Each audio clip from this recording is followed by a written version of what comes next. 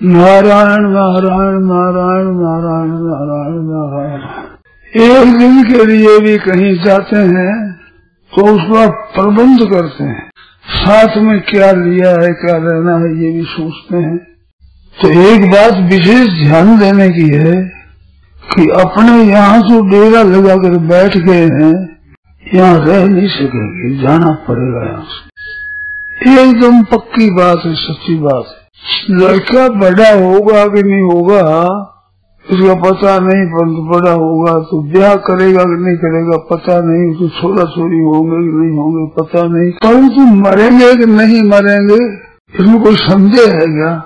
तो सज्जनों, आप लोगों से प्रेम पूर्व प्रार्थना है कि उस दिन के लिए तैयारी करिए कुछ। हम यहाँ से जाते हैं तो साथ में क्या चीज़ चलेगी? धन चलेगा, मकान चलेगा, परिवार चलेगा, शरीर चलेगा, ये साथ में चलेंगे। मारे काल अचानक चपेट की हो गरीब में राख की ढेरी। तो फिर रह तो सकते नहीं, जाने की तैयारी नहीं तो दशा क्या होगी? ये सोचा है कभी? तो आपको बात बताओ ध्यान देकर आप लोग सुने। साथ क्या जाएगा? स्वभाव साथ जाएगा। अब स्वभाव में झूठ कपट करने का, बेईमानी करने का, धोखा देने का स्वभाव है तो ये स्वभाव साथ चलेगा। तो पाप करे उसकी अपेक्षा भी स्वभाव खराब हुआ, बड़ी भारी हानि है। पाप तो दंड दे करके और भुगता देंगे। परंतु स्वभाव को तो सुधार करो तो अभी कर सकते हो, नहीं तो सुधरेगा नहीं, वो फिर बार बार पाप कराएगा। और आप अभी से विचार कर लो कि पराया हक नहीं लेना है, चोरी नहीं करना है, डाका नहीं डालना है, झूठ कपट नहीं करना है, दूसरे के विश्वासघात नहीं करना है, किसी को धोखा नहीं देना है। ये अगर विचार करो तो अभी आप कर सकते फिर ऐसा स्वभाव का सुधार आप कर सकते हो अभी। स्वभाव जिसका सुधरा हुआ होता है तो वो सब जगह सो पाता है। संत महात्माओं में बात क्या है? स्वभाव सुधरा हुआ है। दुखों को पैदा करने वाला स्वभाव है। लोग पैसा कमाने में उन्नति मानते हैं लखपति बन गया, करोड़पति बन गया, बड़ी उन्नति करी। ये यही रह जाएगी कोडी एक साथ चलेगा नहीं।